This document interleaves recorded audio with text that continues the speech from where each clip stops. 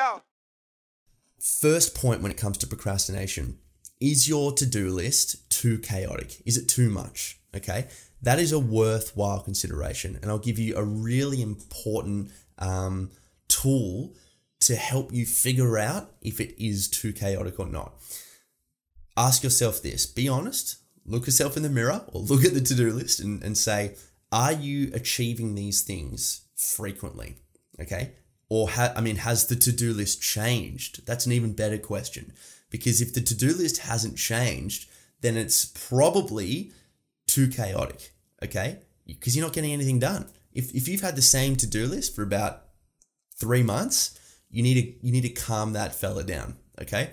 It could be that your tasks are too ambiguous as well, and there's a lack of specificity, which is actually my second point when it comes to procrastination. We will come back to that in a second.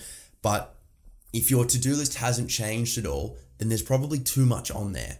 Or you're probably not interested in actually completing those things that you that you think you need to do, but maybe you don't need to do them. You know, maybe you don't want to read that book. Maybe you actually don't want to work out and go to the gym because the way you like to stay fit is doing a tango, going to a going to a salsa class, you know, going for a run. Like when it comes to ticking things off, which I think is really important, that sense of progress is really really fulfilling. That feeling like we're getting things done. And there's a really um, conclusive point to that in terms of what's going on in the brain, the body, the neurochemistry behind progress. Um, that's the positive emotion that we want to feel. Don't don't need to get into that, but if you don't if you're not actually ticking things off, could be one of those reasons. It's too chaotic. You know, you'd actually don't enjoy the tasks that you've set out for yourself. There's a difference between enjoying them and then being challenging and then also being challenging and boring. You know, you don't want to have a boring life. Your to-do list should excite you. It should be challenging, but it should excite you. To be like, who am I going to be when I've got this stuff done? Okay, that's really exciting and rewarding and fulfilling, you know?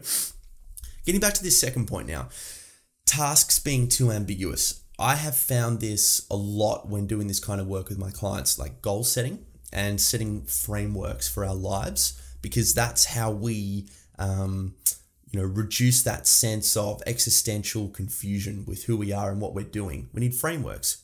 Who are you now? Who do you want to be in six months' time? What's your point A look like? What's your point B going to look like? Okay. Does that excite you? Who you want to become? If not, we need to have a greater discussion around who you think you want to become. Excuse me. Tasks being too ambiguous. Okay. There is a difference between setting a tasks, setting a task. Excuse me. I've just I've had so much.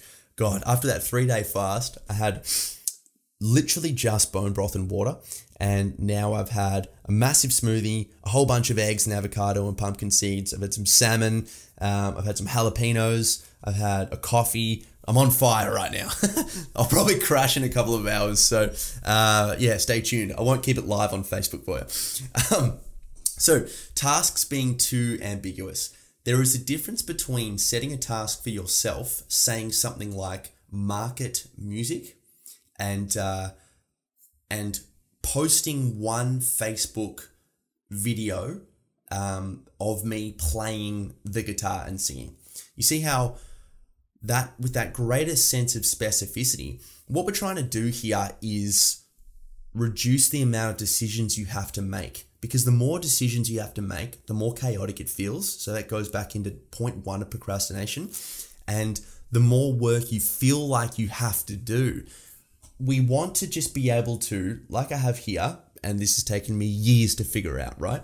But we want to get to the point where we can literally just tick or put a line and we know that that job is done.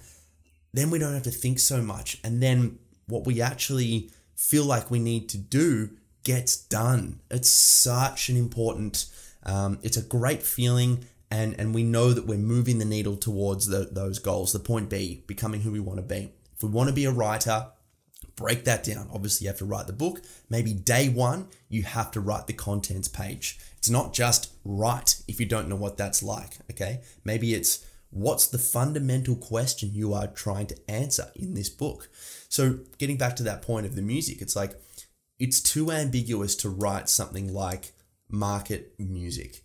What we want to be thinking of is how specifically are you going to do that so that when you sit at your desk for the day or when you look at your to-do list for the day or the week you know exactly what you have to do. So you can just find the flow straight away